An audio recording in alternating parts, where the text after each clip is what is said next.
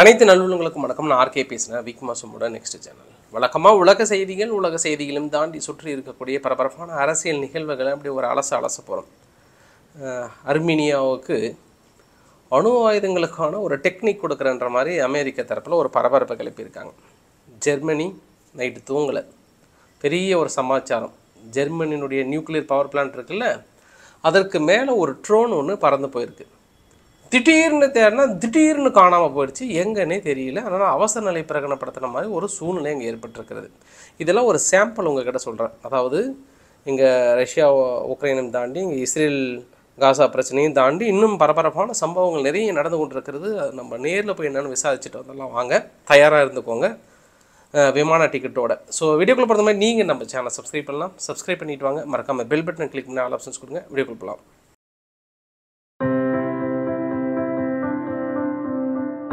நம்ம ஃபஸ்ட்டு விஷயமே அப்படியே இஸ்ரேலை பூ போல எப்படி தாங்கி பாதுகாக்கிறாங்க அமெரிக்கா அப்படின்றத பார்த்துடலாம்.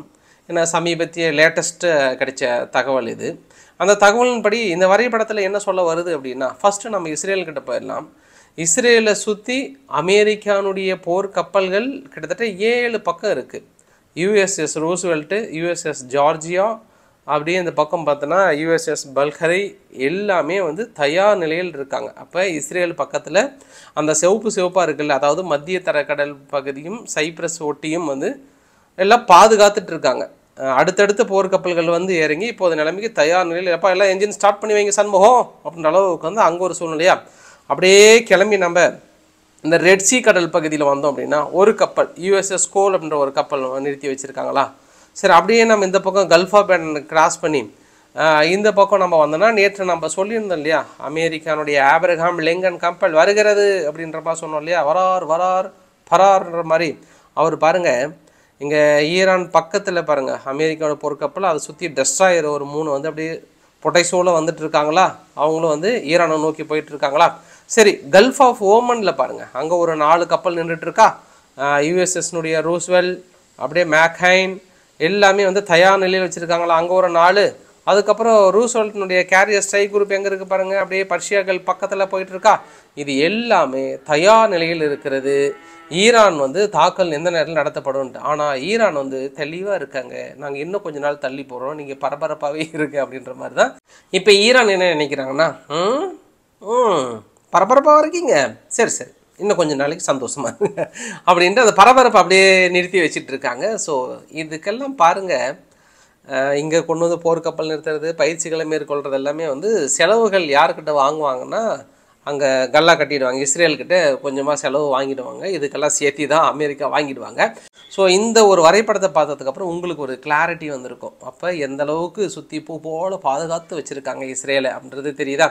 ஸோ இது இல்லாமல் இன்னொரு தகவல் அடிஷ்னலாக என்ன சொல்கிறாங்கன்னா இப்போ சமீபத்தில் யூஎஸ்னுடைய நேவி வார்ஷிப்பெல்லாம் இருக்குல்ல அதுக்கு எல்லாமே வந்து ஸ்டார்லிங்கோட வெப்சைட் பெரிய அளவுக்கு வந்து டெப்ளை பண்ணியிருக்காங்களாம் ஏன்னா கம்யூனிகேஷன் இன்னும் கொஞ்சம் நாங்கள் அதிகமாக டெவ டெவலப் பண்ண போகிறோன்ற மாதிரி வந்து சொல்லியிருக்காங்க. ஸோ அடுத்தடுத்த இம்ப்ரூவ்மெண்ட்டால் சுற்றி பாதுகாத்து வச்சுருக்காங்க. இவங்க இங்கே மட்டும் பரபரப்பா இல்லைங்க.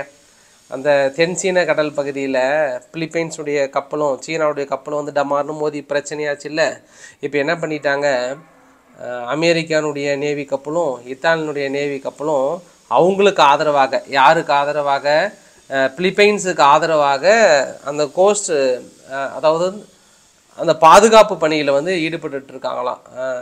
என்ன என்னன்னு தெரியல. அங்கேயும் ஏதோ ஒரு பரபரப்பு கிளப்ப கிளப்பணுன்ற முடிவில் இருக்காங்க போல். அங்கே இப்போ சீனா நினச்சிருப்பாங்க ஏப்பா?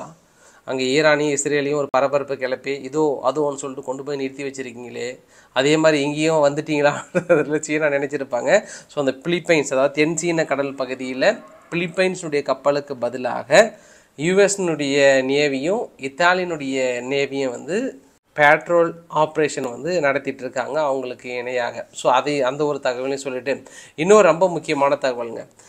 அமெரிக்காவில் குறிப்பாக சிக்காகோவில் என்னென்னா ஒரு பெரிய ஒரு மீட்டிங் நடக்குதுங்க. இந்த மீட்டிங் வந்து நேஷ்னல் டெமோக்ராட்டிக் நேஷ்னல் கன்வென்ஷன் சொல்லுவாங்க.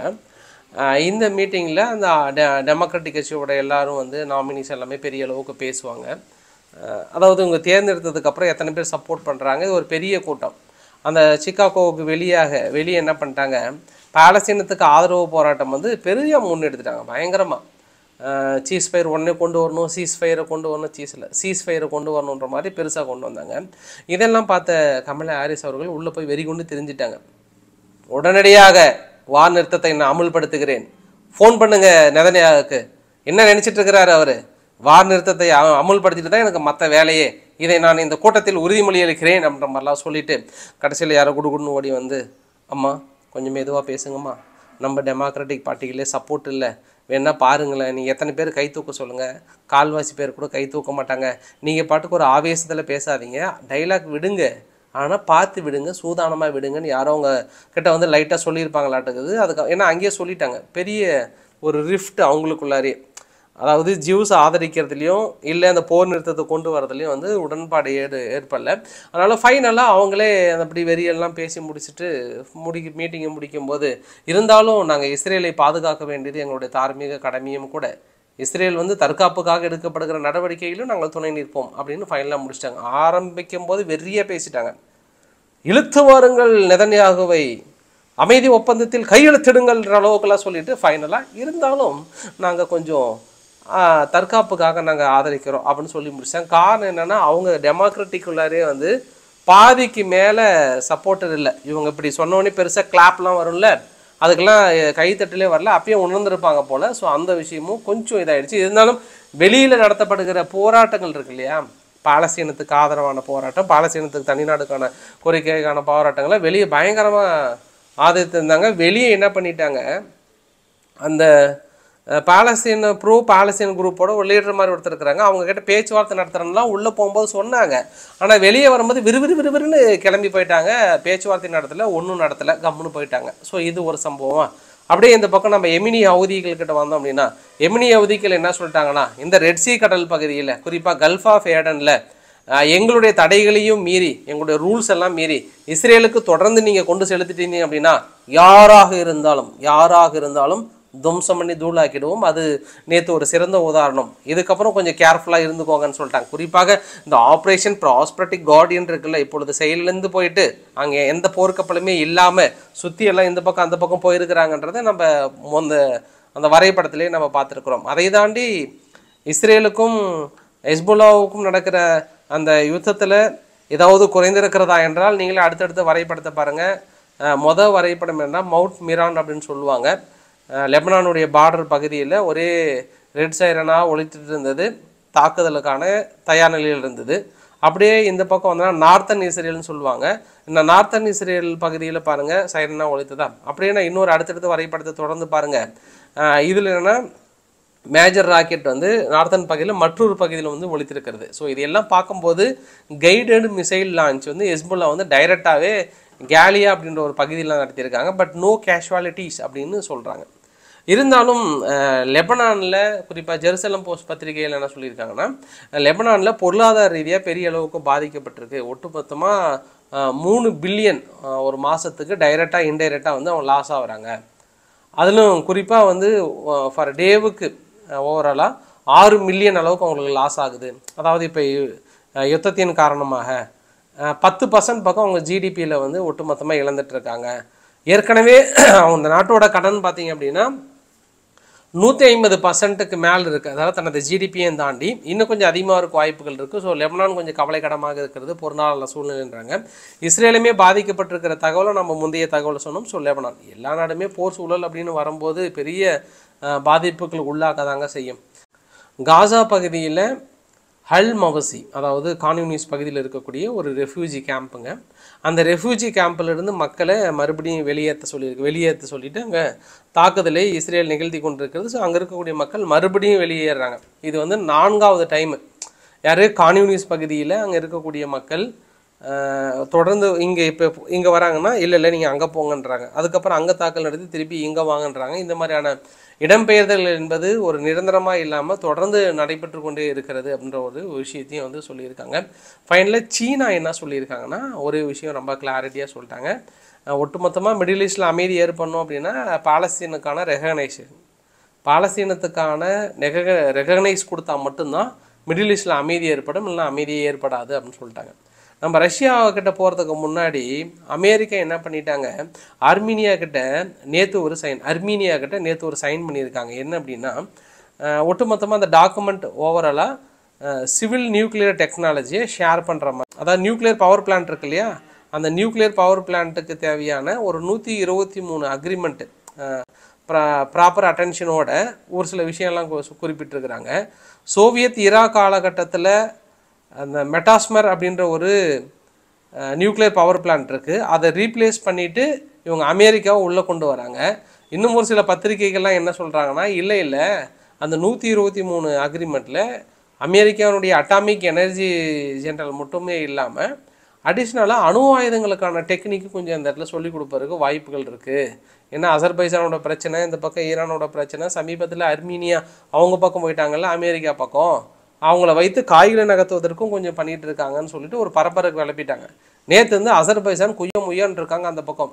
எப்படி இவங்க இது மாதிரியான ஒப்பந்தங்களை போடலான்றாங்க. இந்த ஒப்பந்தத்தை நம்ம எப்படி பார்க்கலான்னா ஒரு மூன்று நாளைக்கு முன்பு அங்கே ரஷ்ய அதிபர் புட்டின் அவர்கள் இங்கே அசர்பைஜான் பெரிய அளவுக்கான அக்ரிமெண்ட்லாம் போட்டாங்களா? அந்த அக்ரிமெண்ட்டை முடிச்சுட்டு கிளம்பி போனார். இங்கே அமெரிக்கானுடைய ஸ்டேட் செக்ரட்டரி ஆண்டனி பிளிங்கன் அவர்கள் இங்கே வந்து அக்ரிமெண்ட்டை சைன் பண்ணியிருக்கிறாரும் போது நம்ம ரெண்டு ஆங்கிளில் பிரிச்சுக்கலாம். ஸோ இங்கேயும் கிளம்ப ஏதோ ஒரு விஷயத்தை வந்து கிளப்ப போகிறாங்கன்னு அர்த்தம். அந்த ஆங்கிலையும் நம்ம பார்த்துடலாம். அதாவது அர்மீனியா அசர்பைஜானோட பிரச்சனை. ஐயா எங்கே மட்டும்தான் பிரச்சனையா? அப்படின்னா இங்கே நீங்கள் வரைபடத்தில் பார்க்குறீங்கல்ல Croatia. Hungary Austria Slovenia Bosnia பக்கத்தில் செர்பியாவுக்கு மேலே சென்ட்ரல் இருக்கிறல குரோஷியா. அங்கே என்ன பண்ணிட்டாங்க? ரெண்டாயிரத்தி எட்டில் தாங்க ஒரு சட்டம் இருந்தது. ரெண்டாயிரத்தி எட்டுக்கு முன்னாடிலாம் கட்டாய ராணுவ சட்டம் இருந்தது. அதுக்கப்புறம் நீக்கிட்டாங்க. ரெண்டாயிரத்தி எட்டுக்கு அப்புறம் நீக்கிட்டாங்க. வேணாம் நம்ம ஒரு நிம்மதியான வாழ்க்கை. அமைதியாக நம்ம பாட்டுக்கு பூ உலகில். அப்படியே சாந்தமாக சொரூபமாக வாழ்ந்துட்டு போயிடலாம். அப்படின்னு முடிவெடுத்து நல்ல ஒரு சட்டத்தை கொண்டு வந்தாங்க. ஐயா இப்போ திடீர்னு என்னாச்சோ தெரியல. அடலாங்க முடியாதுப்பா. நம்ம கட்டாய ராணுவ சட்டத்தை கொண்டு வந்துடணும். குழந்தை பார். உக்ரைனை பார். ரஷ்யாவை பார்.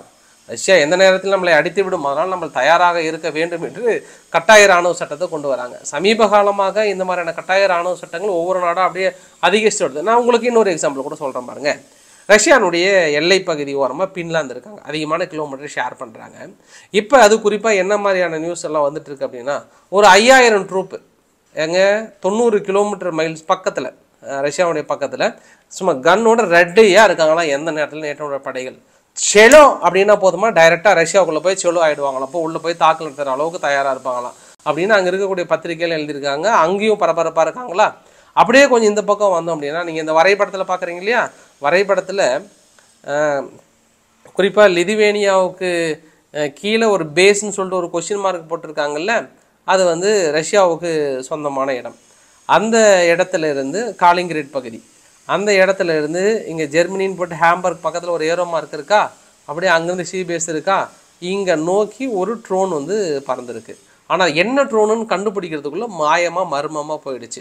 குறிப்பாக அங்கே என்ன இருக்குது அப்படின்னா நியூக்ளியர் பவர் பிளான்ட் இருக்குது இப்போ திடீர்னு ஜெர்மனிக்கு என்ன சந்தேகம் வந்தனா ஓஹோ நியூக்ளியர் பவர் பிளான்ட்டை தாக்கல் நடத்த வந்து முன் வந்து விட்டார்கள்? ஐயோ தயாராக இருங்கள் அப்படின்ற அளவெல்லாம் ஒரு அறிவிப்பு கொடுத்த உடனே ரொம்ப பரபரப்பாயிட்டாங்க. அங்கே ஜெர்மனியில் இன்னொரு விஷயம் கூட இருக்குங்க. அது என்னென்னா அந்த கிளிக்கன் கிச்சன் அப்படின்னு சொல்லுவாங்க. அந்த இடத்துல அமே நேட்டோனுடைய ஏடபிள்யூஎஸ்சிஎஸ் அப்படின்னு சொல்லுவாங்க. முன்கூட்டியே தகவலை கொடுப்பதற்காக பெரிய அளவுக்கு நிறுத்தி வச்சுருப்பாங்க. அதை எல்லாமே ரொம்ப பாதுகாப்பாக கொஞ்சம் அந்நிய ஆட்கள் யாராவது வந்தாங்கன்னா அவங்க தயவு செய்து வெளியே போயிடுங்க. இங்கெல்லாம் இருக்காதீங்க. நாங்கள் நாங்கள் பார்த்துக்கிறோன்ற அளவுக்கு அங்கேயுமே ஒரு பரபரப்பு கிளப்பிட்டாங்க. அந்த அளவுக்கான ஒரு சம்பவங்கள் நிகழ்ந்திருக்கிறது. அதை தாண்டி நேற்றைய பொறுத்த வரைக்கும் உக்ரைனுடைய கைகள் வந்து பெரிய அளவுக்கு ஓங்கி இருந்ததாகவே சொல்லப்படுகிறது. முதல் வரைபடம் இந்த வரைபடத்தில் நான் இரண்டு ஆங்கிள் நான் காட்ட விரும்புகிறேன் குறிப்பாக இந்த கிரிஞ்ச் பிரிட்ஜ் இருக்கு இல்லையா? இந்த கிரிஞ்ச் பிரிட்ஜ் பக்கத்தில் ஒரு கப்பல் ஒரு எண்ணெய் கப்பல் பெருசாக நின்றிருந்து அது மீது ஒரு பெரிய தாக்குதல். அந்த எரிந்திருக்கிற வீடியோ பதிவு கூட கிடைத்திருக்கிறது. பாசிபிள் மிசைல் லான்ச்னு சொல்லிட்டு ரெண்டு டைரக்ஷன் ஒன்று ஒடிஷா இதில் இருந்தோம். இன்னொன்று வந்து ஜாப்ரோஷிஷாவில் வந்து தாக்கல் நடத்துவது தாக்கல் நடத்தியிருக்காங்கன்னு சொல்கிறாங்க அதாவது நாப்டியூன் மிசைல்ஸ் அப்படின்னு சொல்கிறாங்க இந்த நாப்டியூன் மிசைல்ஸ் மூலயமா தாக்கல் நடத்தியிருக்காங்க. பற்றி எரிந்து கொண்டிருக்கிறது. இது ஒரு சம்பவமாக மொத்தம் மூணில் ரெண்டு சுற்று விழுதுனா ஒன்று விழுந்து விழுது விழுந்துடுதான் இரண்டாவது என்னன்னா இந்த கிரிக்ஸ் ரீஜியனில் ரஷ்யா சுற்றி வளைக்கப்பட்டதாக சொல்லப்பட்டாலும் கடந்த இரண்டு நாட்களாக எந்த ஒரு மாற்றமும் இல்லாமல் கொஞ்சம் உக்ரைன் தரப்பில் ஒரு மூணு நாலு கிலோமீட்டர் அட்வான்ஸ் ஆகிறாங்க அதே இடத்துல சுற்றி வளைச்சி இப்போ நீங்கள் பார்க்குறீங்கல்ல அந்த நீல கலர் எல்லாமே உக்ரைனுடைய கட்டுப்பாட்டில் இருக்கிறது. கொஞ்சம் டமால் டொமில் சத்தம் வந்துட்டே தான் இருக்குது ஒரு சில பகுதிகளை தொடர்ந்து உக்ரைன் தனது வசத்தை வந்து கட்டுப்படுத்திட்டு தான் இருக்காங்க அப்படின்ற தகவலும் பார்க்க முடியுது. அதனால் அண்ணனுடைய சேவையை பாராட்டி இந்த அளவுக்கு தம்பிங்க சிறப்பாக செயல்படுறதுனால பெரியன் என்ன பண்ணிட்டாரு?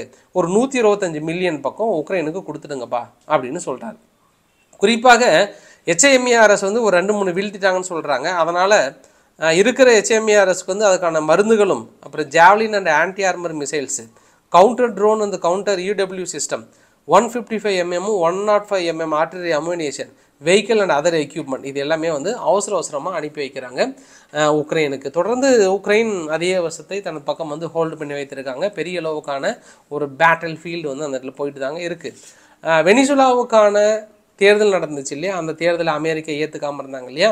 அதை வந்து உச்சநீதிமன்றத்தில் வழக்கு தொடுத்திருந்தாங்க. உச்சநீதிமன்றத்தினோட இறுதி தீர்ப்பு நேற்று வந்துருச்சு. இந்த தேர்தல் குறிப்பாக ஜூலை இருபத்தி எட்டாம் தேதி நடந்த அந்த பிரசிடென்ட் எலெக்ஷனை வந்து முறைப்படி தான் நியாயமாகவும் நீதியாகவும் நேர்மையாகவும் நடந்துள்ளது இதை நாங்கள் ஏற்றுக்கொள்கிறோம் அப்படின்னு சொல்லி இந்த கேஸை முடிச்சு வச்சுட்டாங்க. இதுக்கு மேலே மேல்முறையீடு பண்ணணும் அப்படின்னா ஐநாவில் போய் தான் முறையிடணும். ஐநாவில் போய் முறையிட்டு அது என்ன ஆகும்னு உங்களுக்கு தான் தெரியும். ஸோ இனி எதிர்க்கட்சிகள் அதே மாதிரி அமெரிக்கா புறக்கணித்தது மீதி எல்லா விஷயத்தையும் தாண்டி அங்கே இருக்கக்கூடிய உச்ச நீதிமன்றமே வந்து ஒப்புதல் கொடுத்த விஷயம் மிகப்பெரிய ஒரு மாற்றத்தை ஏற்படுத்துன்னு நினைக்கிறேன். வெனிசுலாவில் குறிப்பாக நிக்கோலஸ் மதுரா அவர்களோட வெற்றி. எப்போ? ஜூலை இருபத்தி எட்டாம் தேதி நடந்த தேர்தல் நான் சொல்கிறேன் நான். நேற்று கூட அமெரிக்கா வெனிசுலாவில் இருக்கக்கூடிய ஒரு அறுபத்தி எட்டு தொழிலதிபர்கள் மீது தனிப்பட்ட முறையில் பொருளாதார தடை விதிச்சிருந்தாங்க. ஃபைனலாக இந்த வீடியோவோட நிறைவு பகுதியில் இந்தியாவை தொடர்பு ஏற்படுத்துகிற ஒரு சில செய்தி ச- விஷயத்தை பார்த்துடலாம். ஒன்று மால்தீவ்ஸ் மால்தீவ்ஸில் முதல் முறையாக அவங்கக்கிட்ட இருக்கக்கூடிய டாலர் கையிருப்பு வந்து நெகட்டிவில் போயிருக்குன்னு இருக்காங்க. குறிப்பாக ஆயில் வாங்குவதற்கு சுத்தமாக ரிசர்வ் இல்லை அப்படின்ற மாதிரியான ஒரு சூழ்நிலை. அது இல்லாமல் வரக்கூடிய மாதங்களில் அவங்களுக்கு ஐநூற்றி எட்டு மில்லியன் தேவைப்படுதான்.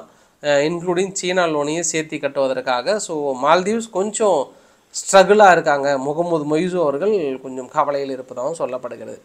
இரண்டாவது விஷயம் பங்களாதேஷ். பங்களாதேஷ் குறிப்பாக ஒரு தம்கூர்ன்ற அணை திறந்ததுக்கப்புறம் என்ன நடந்ததுன்ற வீடியோ பதிவு நான் நேற்று ரவிக்குமார் சோமு சேனலில் போட்டிருந்தேன். அதை போய் பாருங்கள் அதை தாண்டி இங்கே ஷேக் ஹசீனா அவர்களோட பாஸ்போர்ட் எல்லாத்தையும் வந்து ரத்து செஞ்சுட்டாங்க. அவரோடு இருக்கக்கூடிய சக அமைச்சர்களோட பாஸ்போர்ட்டையும் ரத்து பண்ணியிருக்காங்க. இதுவரை நான்கு அவர் மீது கிரிமினல் கேஸ் பதிவு செய்யப்பட்டு வழக்குகள் பதிவு பண்ணிட்டு இருக்காங்க இந்தியா கிட்டேயும் வந்து தொடர்ந்து ரெக்வஸ்ட் வச்சுருக்காங்க. அவங்களை அனுப்பி வைங்கன்னு சொல்லிட்டு. அது இல்லாமல் இந்த கேஸும் நடந்துகிட்ருக்குன்ற ஒரு விஷயம். ஸோ கனடாவில் நேற்று ஒரு பெரிய சம்பவம். குறிப்பாக கலிஃபோர்னியா ஹைவேஸ் அப்படின்னு சொல்லுவாங்க. அந்த ஹைவேஸில் காலிஸ்தான் தே- பிரிவினைவாதி சத்யஞ்சர் சத்யேந்தர் பால் சிங் ராஜுன்னு சொல்லுவாங்க. அவனோட அவரோட ஆர்கனைசர் ரெண்டு பேர் காரில் திடீர்னு போயிருக்காங்க. ஒரு திடீர்னு மர்ம நபர் வந்து கட கட கட கடன்னு சுட்டிருக்காங்க. இரண்டு மூன்று குன்று கையில் காலப்பட்டிருக்கு இது நடந்தது ஆகஸ்ட் பதினொன்றாம் தேதி. கொஞ்சம் படுகாயம் அடைந்த நிலையில் உயிருக்கு போராடிய நிலையில் அங்கே போய் மருத்துவமனையில் அற இது சேர்த்திருக்காங்க. மருத்துவமனையில் சேர்த்தும்போது இப்போதைய நிலைமை இன்னைக்கு என்ன லேட்டஸ்ட் தகவல் அப்படின்னா யாருன்ற மாதிரி வந்து சொல்லியிருக்காங்க. இப்போ தான் ஹர்தீப் சிங் நிஜார் அவர்கள் பாலிஸ்தான் பாகிஸ்தான் பிரி காலிஸ்தான் பிரிவினைவாதி அங்கே சுட்டு கொண்டா சுட்டுட்டாங்க இல்லையா? அதற்கு இந்தியா மீது விமர்சனம் வைத்து இரண்டு பேர் வந்து அப்படின்ற மாதிரிலாம் வந்து சொல்லியிருந்தாங்க. கடைசியில் அதுக்கான ப்ரூஃப் கொடுங்க அது யாருன்னு சொல்லிட்டு இன்னுமே கிடைக்கல. இந்தியாவுக்கும் கனடாவுக்கும் இருக்கக்கூடிய விரிசல் அதிகமாக இருந்தது. தொடர்ந்து இப்போ இது ஒரு அட்டம்ப்ட் யார்? காலிஸ்தான் பிரிவினவாதி காருக்குள்ளார ஆகஸ்ட் பதினொன்றாம் தேதி கலிஃபோர்னியா ஹைவேல டா டார்கெட் வைத்திருக்காங்க இல்லையா? இந்த நிகழ்வு இன்னும் கனடா இன்னும் கருத்து சொல்லவில்லை. மேபி அதை கருத்து சொல்லும் பட்சத்தில் இன்னும் அதிகமான பிளவுகள் வருவதற்கும் வாய்ப்புகள் இருக்குது இது அடுத்த ஒரு சம்பவம். என்னப்பா ஆகஸ்ட் பதினொன்றாம் தேதி நடந்தது இன்னைக்கு தான் சொல்கிறேன்னா இன்றைக்கி தான் ஒரு உயிர் பிழைத்து விடுவார் என்று உறுதி செய்யப்பட்டிருக்கிறது. ஸோ இன்றைக்கு ஓரளவுக்கான தகவலை கவர் பண்ண நினைக்கிறேன். பிடிச்சிருந்தா லைக் பண்ணுங்கள் ஃப்ரெண்ட்ஸுக்கு ஷேர் பண்ணுங்கள் சப்ஸ்கிரைப் பண்ணுங்கள் ரவிக்குமார் ஆர்கே சேனல் நன்றி வணக்கம்.